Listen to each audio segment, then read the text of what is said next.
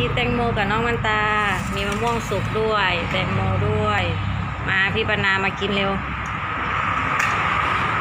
ไปเอาซ่อมมาลูก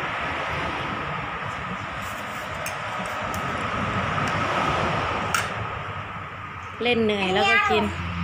อันนี้หนูเคยกินค่ะ อันนี้เขาเรียกว่าอะไรคะจังหมูอร่อย หวานไหมอืมไม่ค่อยหวานนะคะ ไม่ค่อยหวาน มามากินกับน้ำปังตาแล้วก็อันเนี้ยป๊าป๊าไม่ให้เราไปด้วยเราต้องมานั่งนั่งกินแตงโม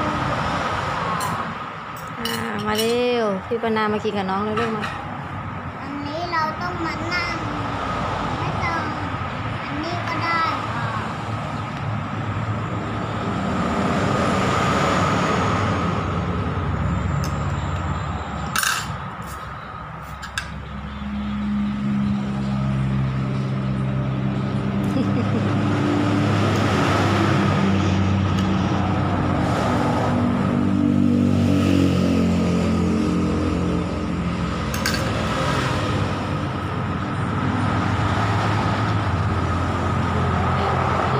พี่ห่วง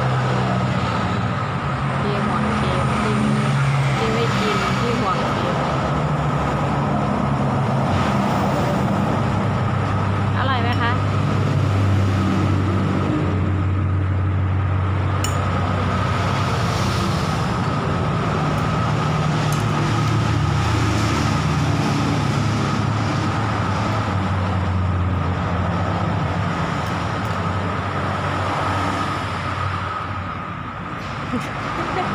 กินแตงโมด้วยกินมะม่วงสุกด้วยในเวลาเดียวกัน